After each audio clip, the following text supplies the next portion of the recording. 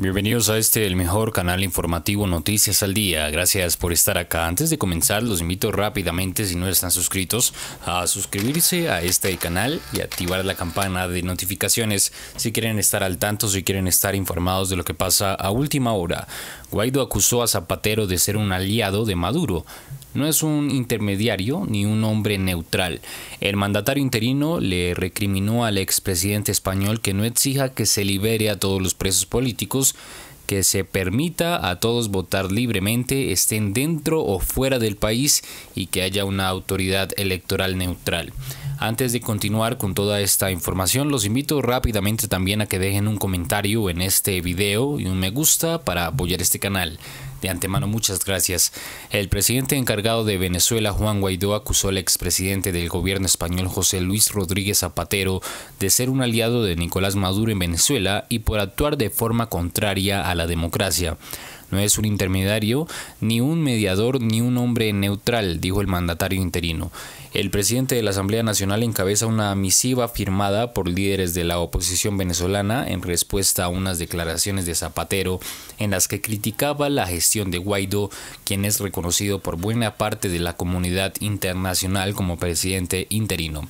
En esta carta abierta al presidente Rodríguez Zapatero, los firmantes, 11 miembros de la opositora Asamblea Nacional de Venezuela, recuerdan al ex jefe del Ejecutivo español que ellos son la voz legítima del pueblo venezolano al que se le usurpó la democracia mientras que Maduro representa una dictadura cada día más decadente, abusiva y cruel con la que él está colaborando abiertamente.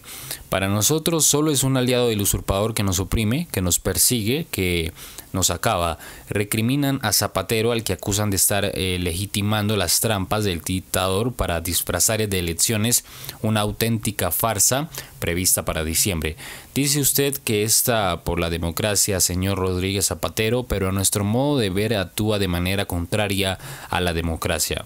Defienden en la misiva publicado en la edición de este jueves del diario El Mundo y recogida por Europa Press en ese sentido, censuran que haya actuado como defensor de la democracia al no exigir que se libere a todos los presos políticos, que se permita a todos votar libremente, estén dentro o fuera del país, que haya una autoridad electoral neutral, no solo maquillada con un par de traidores, uno de ellos, por cierto, negacionista del holocausto y que se permita la observación internacional.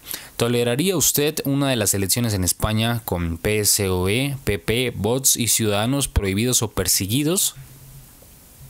Se preguntan los miembros de la Asamblea Nacional Venezolana que inciden en que el gobierno ilegítimo de Venezuela ha sido reconocido por más de 50 países, entre ellos España, por organismos como el Parlamento Europeo y por la Organización de Estados Americanos.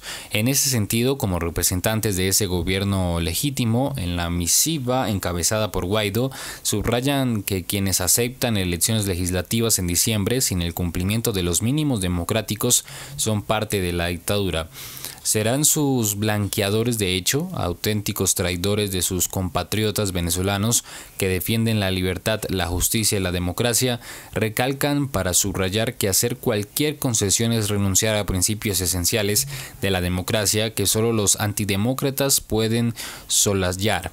Igualmente, Guaido le pregunta a Zapatero en la carta qué hubiera hecho el PSOE durante la dictadura franquista si el régimen hubiera blanqueado unas elecciones falsas permitiendo que se votara solo a algunos adeptos promovidos o protegidos por el régimen. ¿Qué opinan de esta información? Los invito nuevamente a suscribirse y activar la campana de notificaciones si quieren estar al tanto, si quieren estar bien informados de lo que pasa a última hora. Recuerden comentar y dejar un me gusta. Gracias por estar acá. Esto es Noticias al Día.